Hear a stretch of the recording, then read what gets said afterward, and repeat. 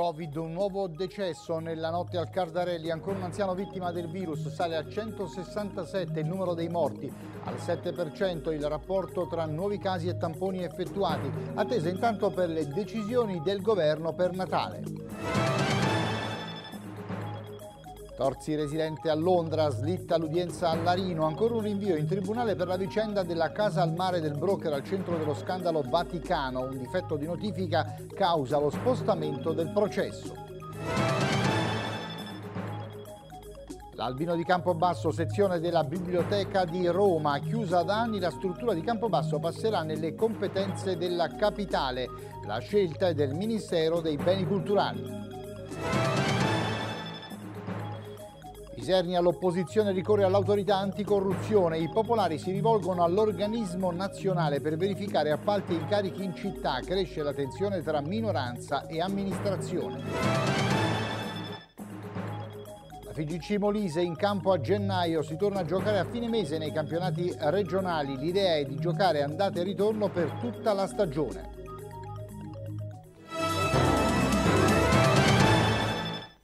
Buon pomeriggio dalla redazione di eh, Telemolise, sempre l'emergenza sanitaria in apertura del nostro telegiornale, c'è la notizia di un ennesimo decesso avvenuto nella notte, si tratta di un anziano che era ricoverato nel reparto di malattie infettive al Cardarelli. Intanto è sotto la media nazionale in Molise, resta sotto la media nazionale nella nostra regione il, il rapporto tra nuovi tamponi e eh, casi positivi è ora al 7% e c'è attesa per le decisioni del governo nazionale sul periodo delle feste di Natale. Sentiamo Giovanni Di Tota. Un nuovo decesso nella notte nel reparto di malattie infettive dell'ospedale di Campobasso. Un anziano che era ricoverato al Cardarelli si aggiunge così al triste e lungo elenco delle persone che non hanno sconfitto il Covid. Il numero complessivo dei decessi è arrivato in Molise a 167. Ieri erano state quattro le vittime, delle quali tre persone anziane e un uomo di Isernia di 45 anni. Resta tuttavia contenuto il rapporto dei casi positivi in relazione al numero dei tamponi effettuati 37 i nuovi casi su 503 test effettuati, che valgono il tasso del 7%. Migliorano leggermente le condizioni del ragazzo di 16 anni di Termoli trasferito nel reparto di terapia intensiva, 69 i pazienti guariti riportati nell'ultimo bollettino. Intanto c'è attesa per le decisioni del governo circa le nuove restrizioni che potrebbero essere decise per le feste di Natale. Le ipotesi sul tavolo sono due una quella di considerare tutta Italia arancione, con bar e ristoranti chiusi, limiti negli spostamenti e negozi aperti e coprifuoco anticipato alle 20 o alle 18. Seconda soluzione più drastica, lockdown nei fine settimana a rischio. Il primo potrebbe essere il prossimo, in cui si temono esodi fra le regioni, quello del 24 e 25 dicembre, il 31 dicembre e l'Epifania. Una linea questa condivisa dai ministri della Salute Speranza e delle regioni Boccia. Una scelta che Conte dovrà intrecciare con la verifica di governo già slittata a venerdì e con le polemiche seguite ai contributi per chi paga con le carte di credito e ottiene i rimborsi, mentre si criticano gli assembramenti e la calca nei negozi che ovviamente in questi giorni di festa sono presi d'assalto. E c'è un tema caldo legato a quello dell'emergenza sanitaria, quello dei eh, trasporti. Stamattina, soprattutto in vista del possibile ritorno tra i banchi a gennaio, a Campobasso è arrivata la proposta dei consiglieri del centro-sinistra al sindaco e alla maggioranza 5 Stelle. Una proposta che è stata lanciata dal terminal degli autobus. L'opposizione eh, propone di utilizzare gli autobus dei privati per rinforzare il eh, trasporto eh, scolastico, il servizio.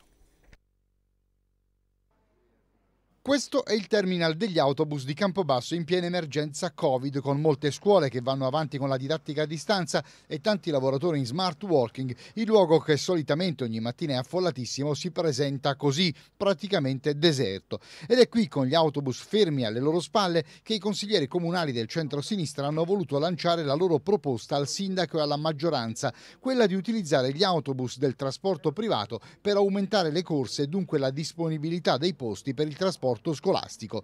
L'idea è quella di utilizzare i mezzi negli orari di buco quando, dopo aver fatto le corse dai paesi, restano fermi nel piazzale del terminal. Moltiplicare i posti invece di tagliarli per evitare gli assembramenti è in sintesi la proposta illustrata da Giose Trivisono, Alessandra Salvatore e dall'ex sindaco Antonio Battista. Fino ad oggi si è eh, tagliato, si è soltanto ridotto per esempio il numero del, delle persone che possono salire su un mezzo pubblico. Ma ora bisogna cominciare, lo si doveva fare già eh, prima veramente, ma insomma si può cominciare, si deve cominciare a moltiplicare i mezzi per mantenere intatta la potenzialità di eh, trasporto eh, del, de, de, delle persone e dei giovani che vanno a scuola, magari utilizzando altri mezzi, mezzi che magari sono fermi in determinati orari, insomma facendo una e strutturando una organizzazione capace di moltiplicare il numero dei mezzi che girano per, per, per la città, utilizzando i fondi messi a disposizione dal, dal governo per lo scopo, per questi scopi qui, per moltiplicare i vettori di trasporto. Per l'ex primo cittadino il tema della gestione dei trasporti durante l'emergenza meritava un'attenzione particolare e una maggiore collaborazione tra le istituzioni locali. È una grossa collaborazione che occorreva mettere su, la collaborazione fatta dalla disponibilità del governo, Regione Molise che ha precisissime competenze in materia e le amministrazioni comunali, l'amministrazione comunale un coordinamento, un lavoro di, di, di, in sistema, di filiera andava fatto. Ora, probabilmente è stato anche fatto, ma sta di fatto che non c'è stato un risultato eh, diverso da quello che oggi noi vediamo eh, in città e che è sotto gli occhi di tutti. La biblioteca Albino sarà inserita nel quadro delle biblioteche statali come sezione della Biblioteca Nazionale di Roma. Ne ha dato notizia alla consigliera regionale Michaela Fanelli, la stessa direttrice della biblioteca. Serve ora un'immediata tutela del patrimonio di libri che sono tuttora presenti nella struttura di Campobasso e che va messo in sicurezza. Stesso discorso vale per la messa in sicurezza dell'edificio di Via D'Amato che ospita la biblioteca o in caso contrario individuare una nuova sede. L'augurio, ha detto la Fanelli, è che il governo, regione, provincia e comune lavorino nella stessa direzione per rilanciare un polo culturale di valore inestimabile per la città capoluogo e per il Molise intero. Nulla di fatto nel corso della prima udienza a carico di Gianluigi Torzi per la vicenda, ricorderete, della casa al mare di Termoli. Per un difetto di notifica gli atti sono tornati alla procura, il procedimento dunque riparte da zero. Dovremo ora collegarci in diretta con Larino dove c'è Pasquale Di Bello che ha seguito questa mattina questa vicenda. Pasquale.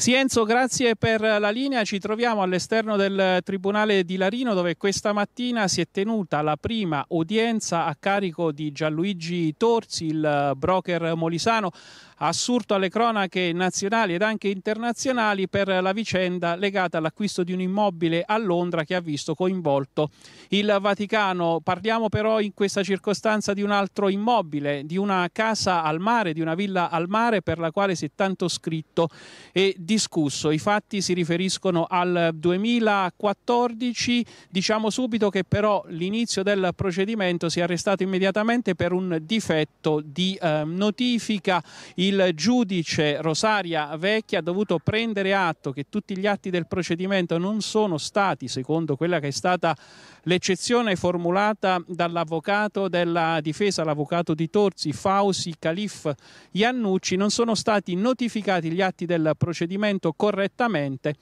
e quindi dovranno essere rinotificati nuovamente presso la residenza di Londra dell'imputato. Uh, Gianluigi Torzi è chiamato a rispondere di esercizio arbitrario delle proprie ragioni, di invasione e del reato di diffamazione. Che cosa è accaduto? I fatti si riferiscono al 2014, quando all'allora locataria di un immobile una eh, pertinenza, una porzione di abitazione che stava all'interno della villa al mare acquistata dalla PTS Investment di Gianluigi eh, Torsi, la signora Maria Rosaria Cerio si trova sbarrato il cancello di ingresso e precluso l'accesso perché era stato cambiato un cilindretto. Che cosa succede? Si rivolge chiaramente alle forze dell'ordine che arrivano sul luogo e inizia un lungo procedimento che vede contrapposte le parti.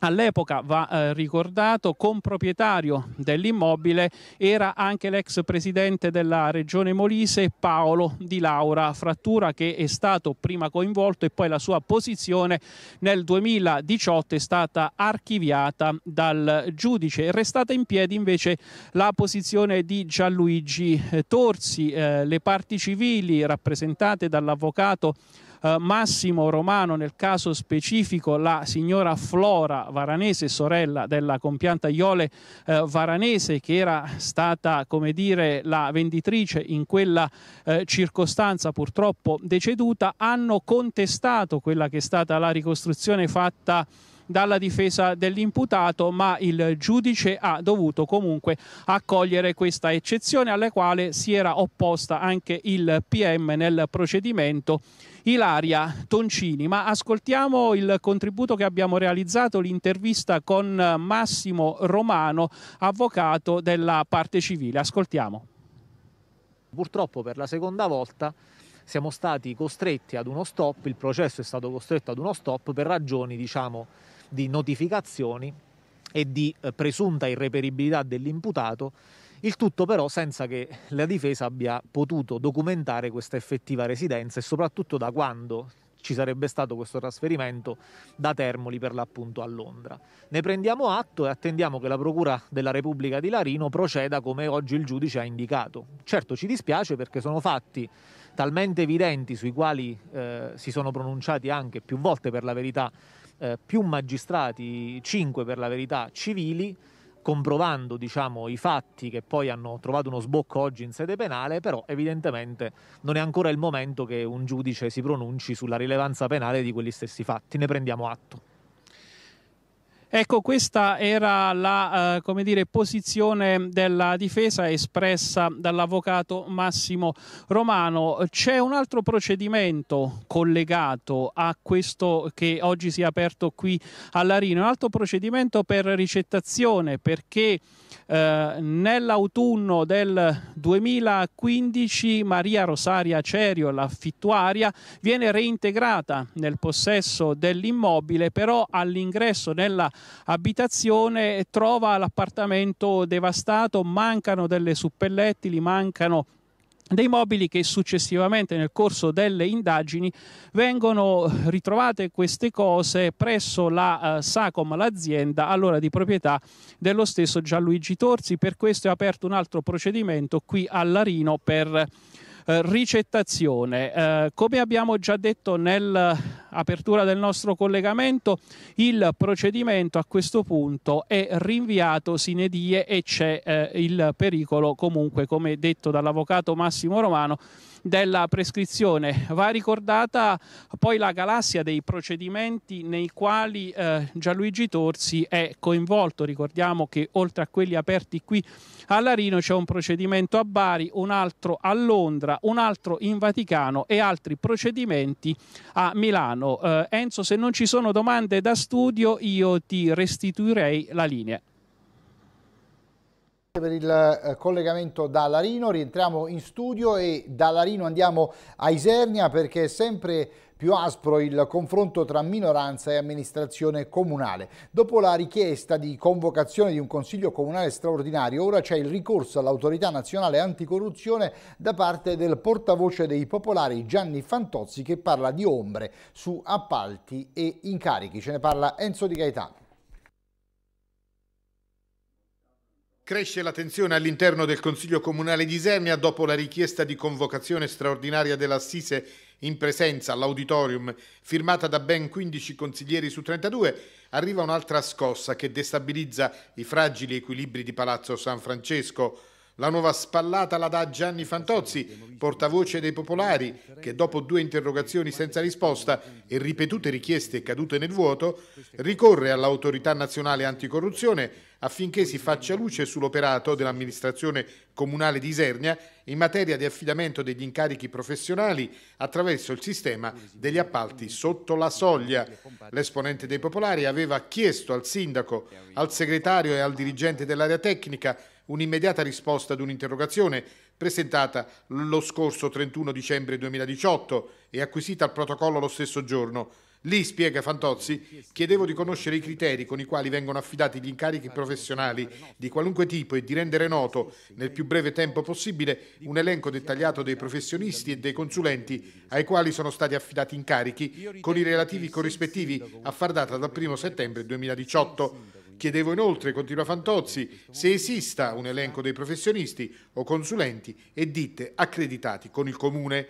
In data 11 settembre 2020 prosegue ho provveduto a reiterare la richiesta, ad oggi rimasta inevasa, nonostante un intervento da parte del prefetto. Questo atteggiamento, osserva Fantozzi, oltre a contrastare in maniera preoccupante con le norme previste dai regolamenti e dallo statuto e a impedire ai consiglieri comunali di esercitare il sacrosanto diritto di controllo e indirizzo, mette in evidenza anche una mancanza di rispetto verso la prefettura.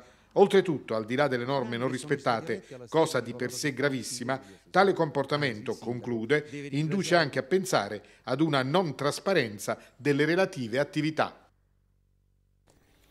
La cronaca adesso, una carambola violentissima tra due auto e un auto articolato nella serata di ieri ha provocato tre feriti e il blocco della strada per alcune ore. L'incidente, vedete queste foto, si è verificato sulla statale 17 vicino al bivio per busso. Le cause sono ancora al vaglio dei carabinieri che insieme ad alcune squadre dei vigili del fuoco e il 118 sono intervenuti per i rilievi e deviare il traffico su strade secondarie. Una delle auto è andata distrutta ma le condizioni dell'uomo alla guida e delle altre persone coinvolte, benché trasportate al Cardarelli, non desterebbero preoccupazioni. E adesso andiamo a Venafro dove parte per gli utenti di Ferrovie dello Stato il servizio di assistenza alle persone disabili o con ridotta mobilità prenotabile attraverso il circuito Sale Blu. I dettagli con Barbara Fino. Viaggiare in treno oggi è un'esperienza più semplice anche per chi ha ridotta mobilità, grazie al digitale e a Ferrovie dello Stato. Anche a Venafro è stato istituito uno speciale servizio di assistenza prenotabile attraverso il circuito Sala Blu di Rete Ferroviaria Italiana.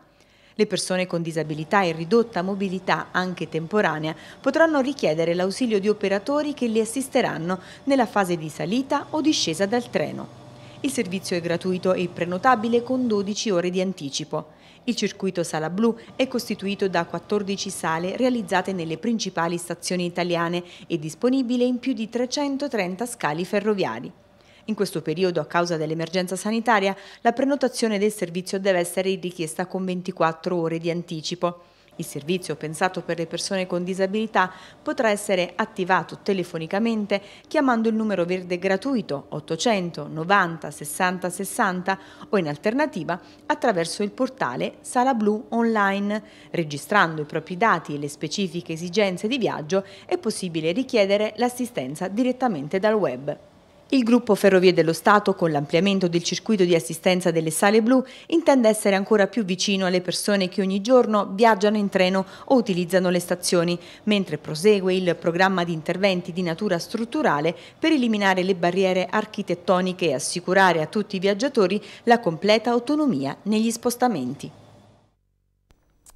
Cambiamo argomento, è stato acceso davanti alla caserma dei Carabinieri di Larino l'albero della cultura e della legalità, un abete naturale alto 3 metri addobbato con gli elaborati degli studenti della città, un'iniziativa nata dalla collaborazione con le scuole di Larino a cui hanno preso parte il direttore dell'ufficio scolastico regionale Anna Paola Sabatini, il sindaco Pino Puchetti, il comandante provinciale Emanuele Gaeta, il comandante interregionale Abruzzo e Molise, il generale Carlo Cerrina. Eh, su questo evento vediamo il video che ha realizzato la stessa arma dei carabinieri.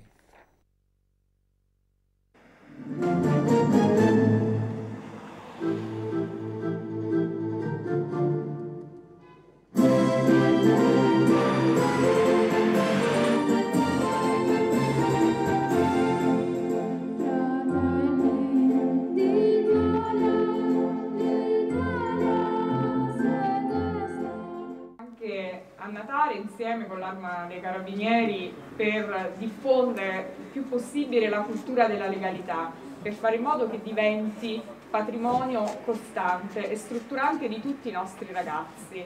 Un evento importante ancora una volta. Penso che questo progetto sia un progetto importantissimo perché collega tutte le istituzioni di una comunità e questo ci fa enormemente piacere come amministrazione comunale. Ma dei Carabinieri persegue e continua il progetto della cultura della legalità e questa sera qui presso la compagnia Carabinieri di Larino si è acceso questo albero magnifico con tutti i pensieri dei ragazzi delle scuole di Larino. Un ringraziamento particolare a tutte le istituzioni che continuano la lotta contro il crimine e soprattutto per riaffermare la legalità in questa società. La scuola non è solo un luogo fisico, è un insieme di rapporti, di insegnanti, di interazioni. L'Arma dei Carabinieri è da sempre attenta alla scuola. Abbiamo tante iniziative che facciamo assieme alle scuole di ogni ordine e grado. Una di queste è l'iniziativa della cultura della legalità. La legalità è un qualcosa fatta di piccoli passi che ognuno di noi deve fare.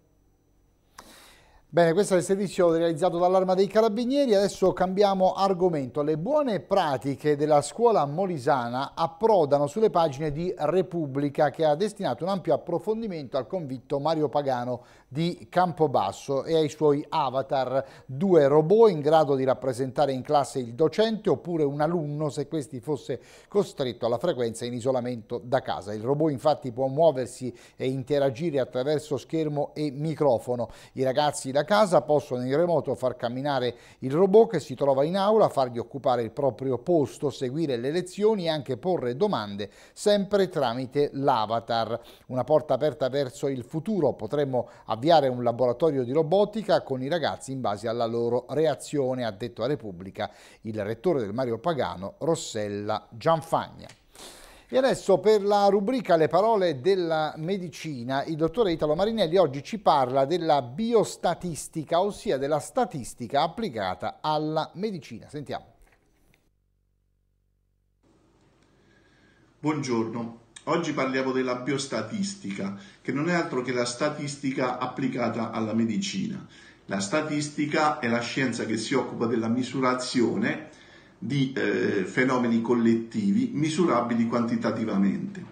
Eh, non è niente di nuovo se noi pensiamo al viaggio che fecero Maria e Giuseppe da eh, Nazareth a Betlemme per fare il censimento, eh, ci rendiamo conto che la statistica eh, veniva praticata dalla, dalla più mh, mm, remota antichità.